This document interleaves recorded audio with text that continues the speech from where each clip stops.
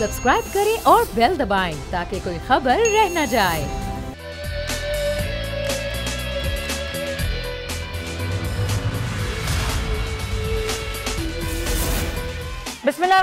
अस्सलाम वालेकुम प्रोग्राम में मैं सुमैया रिजवान आपको खुश आमदीद कहती हूँ।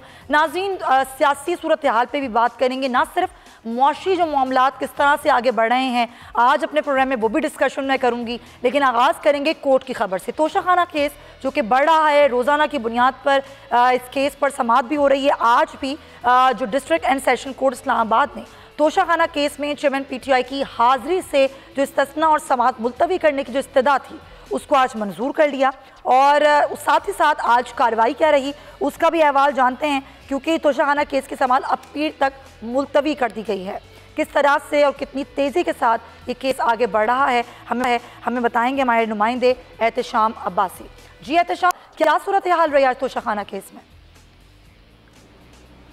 अजी बड़ा अहम केस है तोशाखाना आज की जो समात है, उसमें जो डेवलपमेंट हुई हैं। उसमें एक तो ये है कि तोशाहाना तोशाहाना केस में गुजशत रोज़ जो रिमार्क थे जज साहब के, बड़े वाजिया के। अगर चेयरमैन पी टी आई आज अदालत में पेश ना हुए तो उनके नान नॉन अवेलेबल वारंट जो है जारी किए जाएँगे तो उस हम्म। हवाले से आज हमने अदालत में देखा कि ऐसा कुछ भी नहीं हुआ चेयरमैन पीटीआई की जो हाजिरी से अस्तना की दरख्वास्त वो भी मंजूर हुई है हम्म। उसके साथ साथ जो है केस की जो समात है वो मंडे तक जो है मुलतवी हो गई है हम्म। और जो आज की जो दूसरी डिवेलपमेंट्स हैं उसमें ये है कि जो इन्होंने जरा पर जो गवान हैं उनके बयान जो कलम बंद हुए हैं उस हवाले से जो दरख्वास्त दी थी वो मुस्तरद हुई है हाई कोर्ट में भी ये केस जो है चल रहा है क्योंकि हाई कोर्ट में इस केस के काबिल समात होने या ना होने के हवाले से जो फैसला है वो महफूज हो चुका है और आइंदा हफ़्ते जो है वो सुनाया जाएगा हम्म। तो आज तो जो जो यहाँ पर डिस्ट्रिक्ट कोर्ट्स में जो चीज़ें हुई हैं उसमें ये भी चीज़ें हुई हैं कि गौर अली खान और अदालत में जो आज क्योंकि थोड़ा सा माहौल आज हमने देखा खुशगवार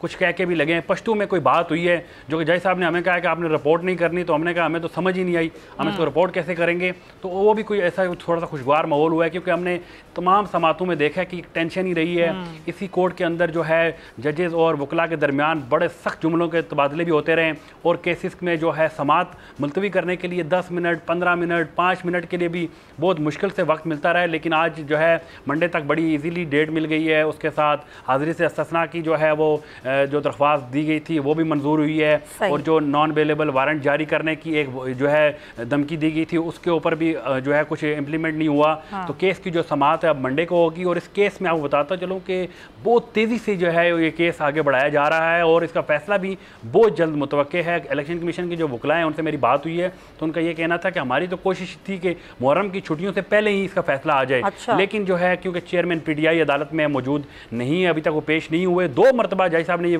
कहा कि दो मरतबा वो पेश हुए हैं एक मरतबा जब वो गिरफ़्तार हुए हम्म। उस वक्त पेश हुए और एक मरतबा जब वो आए और उनकी जो है हाजिरी लगाई गई गेट पे और उसी केस पे जो है उनको मुख्तलिफ़ केसेस बनाए गए गेट पे हाजिरी लगाई गई थी उनकी। उसके बाद जो है चेयरमैन पीटीआई अदालत पेश नहीं हुए और मंडे तक उन्होंने जो जो है उनके वकला की टीम है उनसे ये गारंटी ली है कि मंडे को जो है चेयरमैन पीटीआई को लाजमी आप पेश करें लिख कर दें ताकि वो अदालत में पेश हों और इस केस का फैसला सुनाया जा सके। ठीक है तशान अब्बासी बहुत शुक्रिया। आपके हवाले से आप पूरा अहवाल हमारे नाजरन को बता रहे थे। आगे बढ़ेंगे और आज का जो मौजूदा सियासी एक मंजरनामा है उसमें जो अहम सवाल उठता है वो ये है कि मुस्तबिल करीब का जो सियासी मंजरनामा वो किस तरह का होगा, मौजूदा सेटअप के आखिरी दिन चल रहे हैं नाजरीन, जिस तरह आप जानते हैं। और उसके खात्मे पर जो निगरा हुकूमत और क़्याम है, वो अमल में लाया जाएगा। पंजाब और के पी में तो पहले ही निगरा सेटअप है। अब इंतबात तक इसी तरह से चलेगा, मगर सिंध, बलूचिस्तान और वफाक में जो निगरा सेटअप है, वो वो लाना पड़ेगा। और उसके लिए बहुत कुछ हो रहा है जोड़ तोड़ मुशावरत।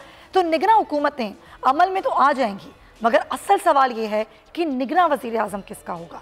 क्या निगरा हुकूमतों के क़्याम के बाद इंतबात के बर वक्त इनका का मामला भी खुश असलूबी से तकमील पा सकेगा? क्या निगरा सेटअप भी आइनी मुद्दत से आगे चला जाएगा?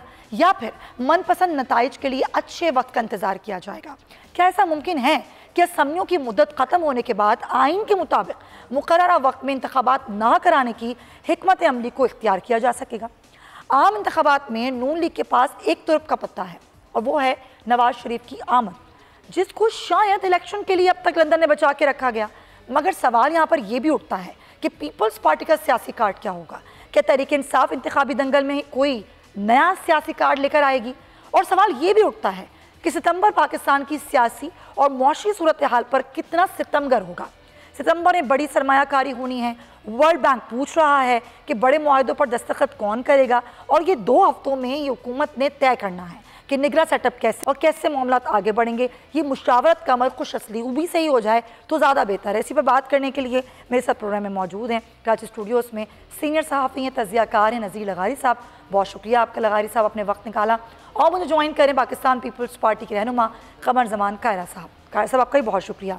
सवाल ज़ाहिर यही कि आप लोगों से किया जा रहा है बार बार कि निगरा सेटअप ना सेटअप यानी कि निगरा वजी अजम के लिए जो नाम आ रहे हैं वो क्या आ रहे हैं? और अगर मुस्लिम लीग नून इस आर का नहीं किसी भी सियासी शख्सियत का नाम देती है पीपल्स पार्टी ने तो अभी तक नाम नहीं दिए तो क्या बात हो सकती है किसी सियासी शख्सियत की निगरान वजी अजम बनने पर? जी मैं उस कमेटी का मेंबर नहीं नहीं हूँ लिहाजा मेरे पास तो ये कोई इस्तेकार नहीं है कि मैं इससे बात करूँ कि हम्म। बात हो सकती है कि नहीं। हाँ एक बात, मैं मुस्लिम अपने इस बात का दाई हूँ, इस बात का ज़ोर ज़ोर से वकील हूँ कि हमें इन ऑफ़िस पे वज़ीर आज़म और वजरा आला और वजरा के ऑफ़िस ये खालसतन सियासी दफातर है। सियासी ऑफ़िस हैं।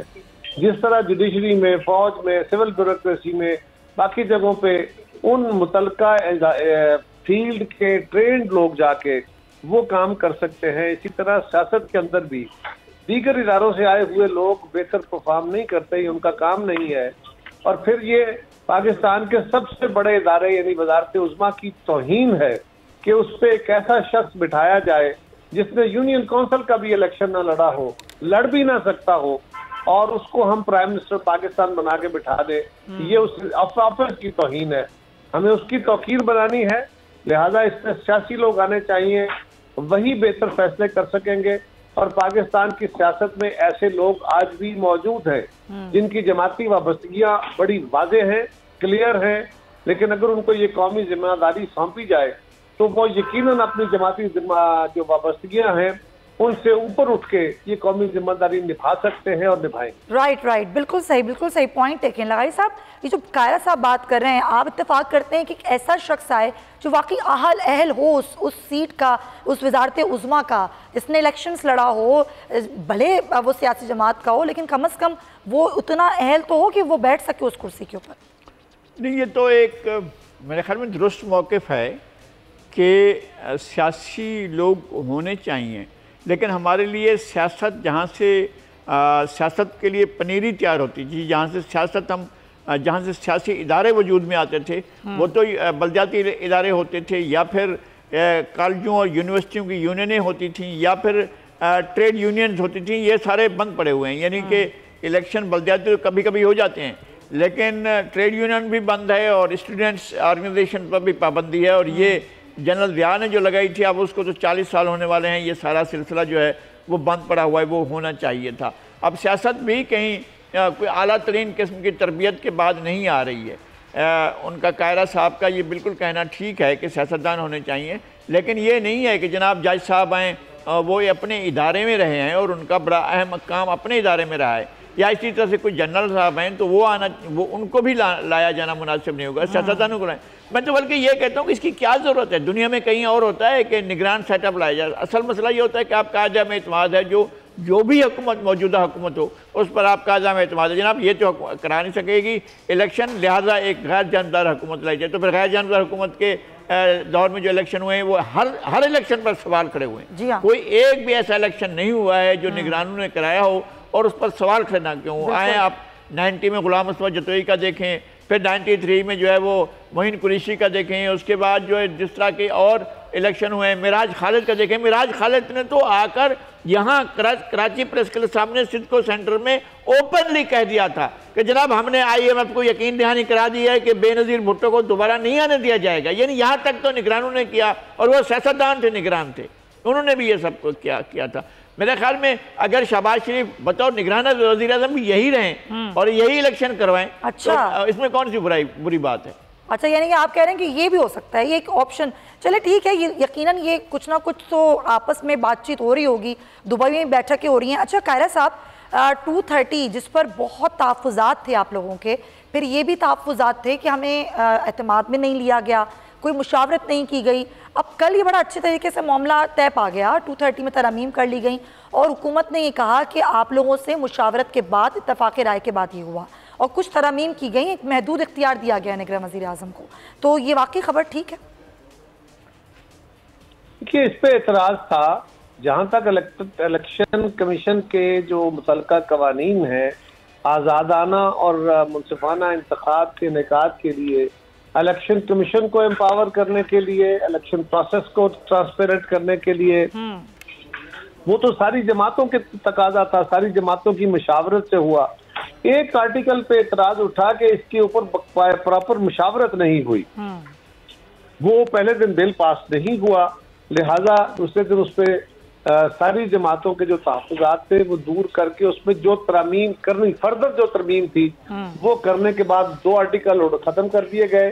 और एक आर्टिकल को मजीद सॉफ्ट किया गया अब मकसद यह है कि केयर टेकर प्राइम मिनिस्टर को इस वक्त जिन हालात का उनको फैसले करने होंगे वो है कि हमने एक आईएमएफ रजीम में है, बहुत सारे इकोनॉमिक फैसले उन्हें करने होंगे तो ये नहीं कि उनको पाकिस्तान के मुस्तबिल के लिए मजीद फैसले करने करने चाहिए या करने का इख्तियार दें, लेकिन उनको ये तो इख्तियार देना है कि अगर इम्प्लीमेंटेशन में अगर को फैसला करना है उन्हें हम्म। तो वो काम तो कम अज कम कर सके। वो पाकिस्तान की बेहतरी के लिए है और तमाम जमातों के तहफात को एड्रेस करने के बाद ये बिल फाइनल हुआ। अच्छा खैर साहब एक कुछ खबरें ये भी इस तरह के सामने आई हैं ये दुबई में जो बातचीत हो रही है मियाँ नवाज़ शरीफ या आसिफ अली जरदारी के दरमियान उसमें कुछ मुआशी एमरजेंसी के हवाले से भी बातचीत हुई कि मुआशी एमरजेंसी मुल्क में लगाकर आगे छः महीने तक इलेक्शंस को ले जाया जाए। अगर इस तरह की कोई तजवीज़ आती है और वो जेर गौर होती है तो फिर पीपल्स पार्टी का मौक़ इस पर क्या होगा? ये तजवीज़ अपनी मौत बहुत पहले मर चुकी। अच्छा। इसलिए कि पहली बात तो यह है कि इमरजेंसी की बुनियाद पे असम्बली की मदद नहीं बढ़ सकती। हम्म। गैर मामूली किस्म की सूरत हाल पैदा हो जाए कि इलेक्शन का इनका अमलन मुमकिन न रहे उस सूरत में ये हो सकता है कि आप असम्बली की मुद्दत को में इजाफा करें वो आइन कहता है। हम्म। ऐसे कोई हालात नहीं थे। अब इमरजेंसी गुजर चुकी। इमरजेंसी अच्छा। के तो हालात ही नहीं है। अच्छा। कोई ऐसे ऐसे सूरत हाल नहीं है। और रही बात माली इमरजेंसी की तो आज तो माली इमरजेंसी का भी फ़िलहाल नहीं है। अलहमदुल्ला जो पहले क्राइसिस था वो दूर हो चुका। लिहाजा ये सारे सवाल अपनी मौत मर चुके अच्छा एक तजवीज़ और थी पीपल्स पार्टी की कि 8 अगस्त को यानी वक्त से पहले असम्बली डिजोल्व कर ली जाए। तो क्या ये तजवीज़ अब भी बरकरार है और क्या इस पर कोई मुशावरत हुई मुस्लिम लीग नून से? देखिए हमारी तरफ़ से ये तजवीज़ नहीं है ये तो जनरली एक तजवीज़ है। ठीक है। कोशिश की जा रही है मेरा ख्याल है हमारी जो कमेटी मंडे को अब दोबारा मिलेगी जी। उसमें यही दो बातें होंगी। एक के इनका जो ठीक है जो मंडे को मीटिंग होगी उसमें भी तजावीज रखी जाएँगी। बहुत शुक्रिया मान कायरा साहब। प्रोग्राम में ब्रेक शामिल करते हैं फिर वापस आते हैं।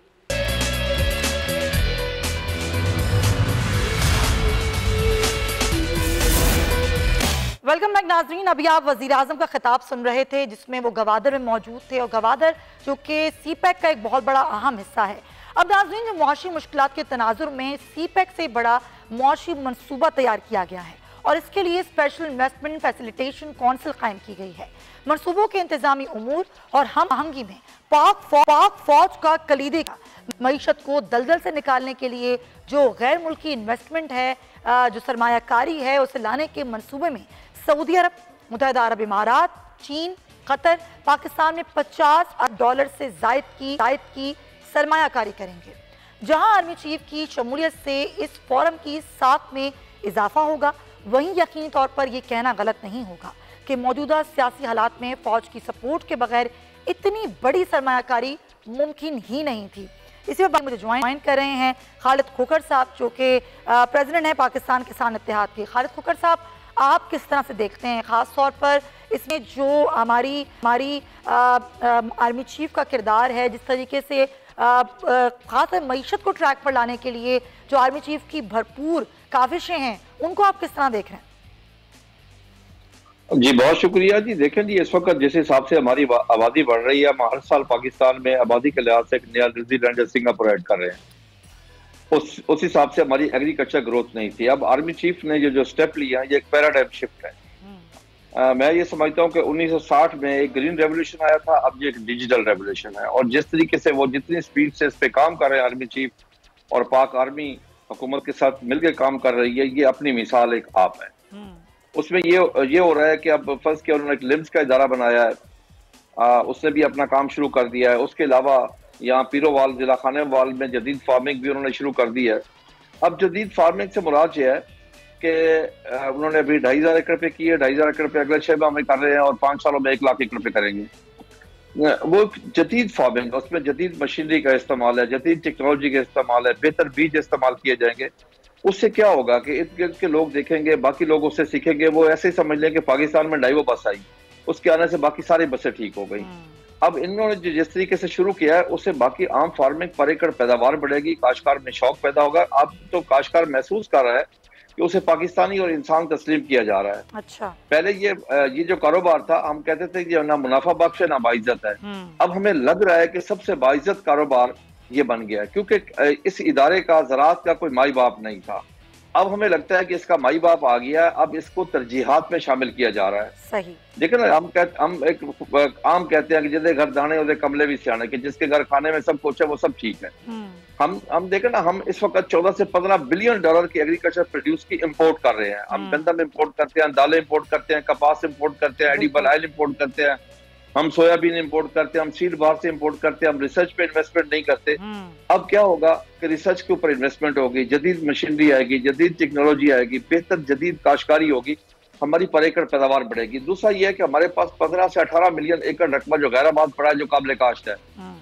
अब जो बाहर से इन्वेस्टर आएगा पाकिस्तान से बाहर से पाकिस्तान से जो कॉर्पोरेट सेक्टर है वो आएगा आम फार्मर उसमें शामिल होगा कॉपरेटिव फ़ार्मिंग आएगी कॉर्पोरेट फ़ार्मिंग आएगी उससे गैराबाद रकबे जब आबाद होंगे तो हमारी मुश्किल तो वैसे ही आसान हो जाएगी कि जब हमें बाहर से कोई चीज़ इंपोर्ट नहीं करनी पड़ेगी हमारे पास खाने पीने की हर चीज़ जहाँ पे मौजूद होगी हम एक्सपोर्ट करने के काबिल हो जाएँगे देखिए जी कुदरत ने हमें तमाम नियमतों से नवाजा है तमाम नियमतों से इससे बेहतर मुल्क एग्रीकल्चर के लिए दुनिया में कोई नहीं है मैदानी इलाका मैदानी इलाका हमारे पास है पहाड़ हमारे पास है दरिया हमारे पास है समंदर हमारे पास है चारों मौसम हमारे पास है चोलिस्तान हमारे पास है थर हमारे पास है रेगिस्तान हमारे पास है रोही हमारे पास है यानी कि अल्लाह ताला ने हमें हर चीज़ दी एक विल नहीं थी। अब हमें इस इदारे के आने से अब बिल नज़र आ रही है और ये पाक आर्मी जो यहाँ पे काम कर रही है ये दुनिया का पहला मॉडल नहीं है। उन्नीस ममालिक में ऑलरेडी किसान और जवान मिलकर काम कर रहे हैं। सबसे पहले चाइना ने शुरू किया था मोजेतान ने। लेकिन ये बेहतरीन इकदाम है डेफिनेटली आप दुरुस्त फरमा रहे खालिद खुखर साहब। और ज़रात का शोबा जो कि बहुत अहम शोबा है मुल्क का आ, उसको यकीनन ना सिर्फ़ बेहतरी होगी इसमें और डेफिनेटली जब ज़रात बेहतर होगी तो फिर मीशत भी बहुत बेहतरी की तरफ़ जाएगी। बहुत शुक्रिया खालिद खुकर साहब इस तमाम तर सूरत हाल पर आप बात कर रहे हैं। पाक फौज की काविशें, हुकूमत की कोशिशों से मीशत की सूरत हाल बेहतरी की तरफ़ जा रही है। और हम ये उम्मीद भी करते हैं कि इसमें ज़ाहिर बहसीत कौम जो हम सब की कोशिशें होंगी कलेक्टिव, उससे यकीनन अच्छे दिन भी ज़रूर आएँगे। इसके साथ ही नाजरीन, प्रोग्राम का वक्त ख़त्म होता है। अपना बहुत ख्याल रखिएगा। अल्लाह हाफ़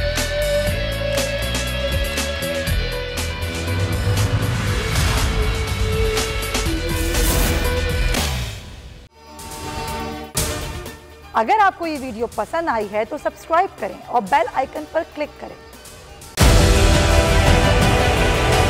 डिजिटल लोन स्कैम आवाम को कर्जों के जाल में फंसाकर लूटने वाले भेड़िए बेनकाब। बोल की काविशें बराबर साबित हो गई। ऑनलाइन कर्ज माफिया के गिर घेरा तंग हो गया है। बोल ने दिया अपने आवाम का साथ उठाई इस स्कैम के खिलाफ आवाज़। बोल की डिजिटल लोन स्कैम के खिलाफ आगाही मुहिम की सबसे बड़ी ट्रांसमिशन। उनसठ फ़ीसद आवाम ने देखी अपनी स्क्रीन पर, क्योंकि बोल है पाकिस्तान का number one news channel. Subscribe करें और बेल दबाएँ ताकि कोई खबर रह न जाए।